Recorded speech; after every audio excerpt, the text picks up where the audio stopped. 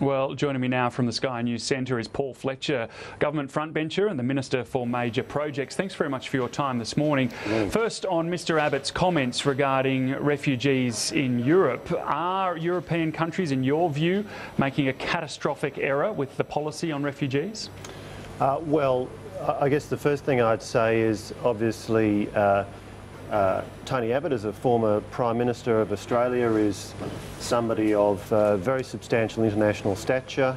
Uh, I think it's an honour for him uh, that he is giving this lecture, and I think it uh, recognises Australia's stature. And clearly, what he has been doing in this lecture is talking about Australia's experience, including uh, the work that he led, including in the policy that we took to the 2013 election, and then executed on in relation to uh, the uh, management of um, uh, people arriving by boat, uh, including uh, our policy commitment to turn boats back where safe to do so, and um, detention on uh, Nauru and Manus Island. So I, I, understood him to be making the point that there are lessons from the way that Australia has managed this issue um, and I think it is uh, a uh, appropriate recognition of Mr Abbott's stature and indeed Australia's stature that he uh, is invited to give a speech or a lecture of this significance.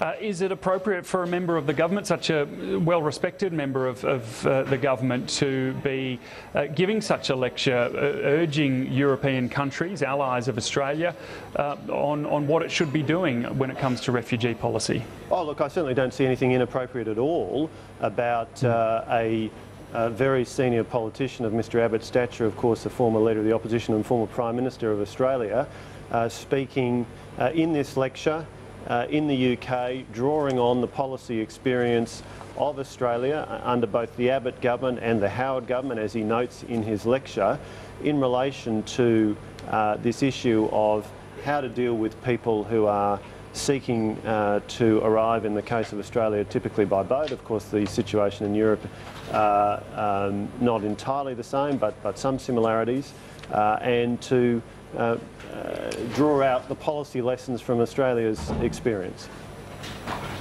Uh, on the conflict in Syria and, uh, and Iraq, uh, Mr Abbott also urged uh, perhaps decisive action, and that may include special forces, Western special forces on the ground in those countries. Uh, this comes after the US Defence Secretary Ashton Carter suggested that uh, there may be a ramping up of operations, perhaps as he called it, direct action in the Middle East. Is the government considering taking further steps, uh, for example, uh, special forces boots on the ground in these countries? Look, I'll leave any comments on that to the Prime Minister and to Defence Minister Payne, uh, simply to say that clearly uh, the Syrian situation is an exceptionally difficult one. And one of the points uh, Mr Abbott made in his lecture overnight was that because of the uh, strong control of our borders in Australia that the Abbott government uh, achieved and uh, Prime Minister Turnbull uh, has reiterated his comments were a couple of weeks ago we can't take a backward step on this. It's very important that we maintain our position lest uh, criminal people smugglers once again try and take advantage of weakness, as we saw them do in the years of the Rudd-Gillard-Rudd governments. But the, the former Prime Minister Abbott made the point, and I think it's a powerful point in his lecture, that it was because of the strong border control, uh, border protection measures that we were able to take and the success we've had on this issue that in turn we were able to then offer 12,000 places for people uh, displaced by the conflict in Syria, people who meet uh, the uh, test of being a refugee, and so uh, that humanitarian uh, action that the Abbott government uh, announced and that the Turnbull government is very strongly committed to, I think is uh, in part a consequence of the clear and strong management that we have shown on this issue. Okay, well, moving on, and the government has flagged a comprehensive innovation and science statement to be delivered by the end of the year. There's some suggestion uh, in media this morning that this could include tax breaks for companies that collaborate with universities and, and researchers as well. Uh, how, how would that work, and, and what would the government be hoping to achieve with that?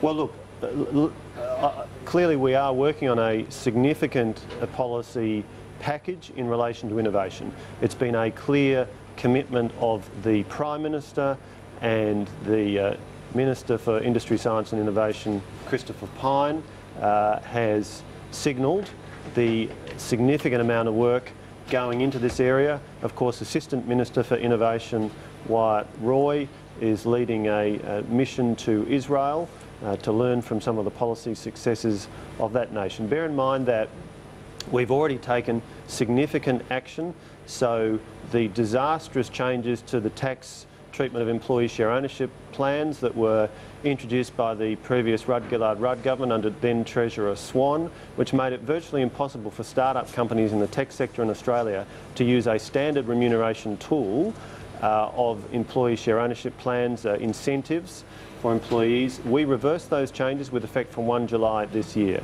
Assistant Treasurer Kelly O'Dwyer has announced that we will be uh, introducing legislation in relation to crowdsourced equity funding, using the power of the internet to efficiently raise capital, and it lets you do that in a way that um, uh, it becomes uh, possible to raise large amounts, uh, small amounts of money from large numbers of people. So capturing the efficiency of the internet in relation to crowdsourced equity funding. So there's a lot that we are doing. Yeah, the, as, the, question was about tax breaks, though, mm. for, for companies that collaborate with universities and researchers. I mean, is there scope for that? Is, is that something that would, I mean, clearly it would help these, these innovators, help com companies, because right at the moment, Australia's at the very bottom of uh, OECD uh, countries when it comes to commercialising research. Clearly something needs to be done there. Australia has a very strong track record in research, as you rightly say. Uh, commercialising research is an area where we aim to improve our national performance. We certainly have some great success stories. Uh, companies like Cochlear, for example, which took research done into hearing and, and, addressing hearing disabilities done at Melbourne University and Cochlear is now a, country, a, company with global revenues of some $900 million a year. So there are some great success stories but we need many more. Now in relation to your question of whether there will be tax measures included in the package, uh, I will leave that to the responsible ministers to announce at the appropriate time, but simply to note that of course there's a whole range of policy measures that are um, considered in the innovation space around the world. Different countries have different measures and of course we are having a good look at the different policy settings in countries as diverse as the UK, Israel, the US, Singapore and many other countries because as the Prime Minister has said we're in a very competitive global economy uh, every nation, every advanced nation is seeking to spur innovation. Uh, we are well placed to do that in Australia. Disruption, as the Prime Minister has said, uh, can be an opportunity and we need to treat it that way and the innovation package is a very important part of that.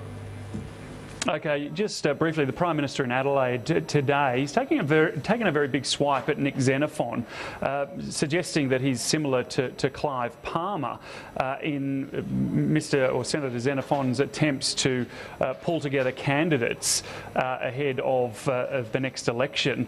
that seems to me to suggest that the government's pretty worried that he may make an impact, particularly on coalition-held seats.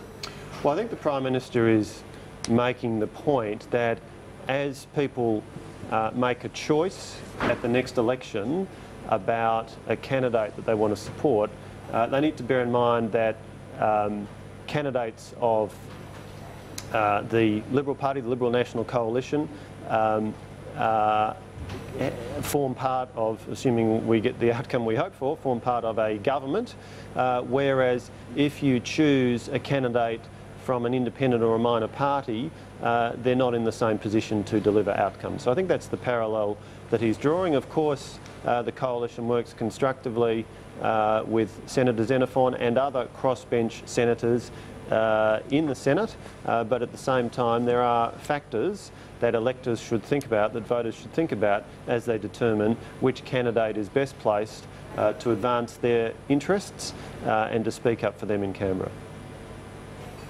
Paul Fletcher, thanks so much for joining us this morning. Thanks, Dave.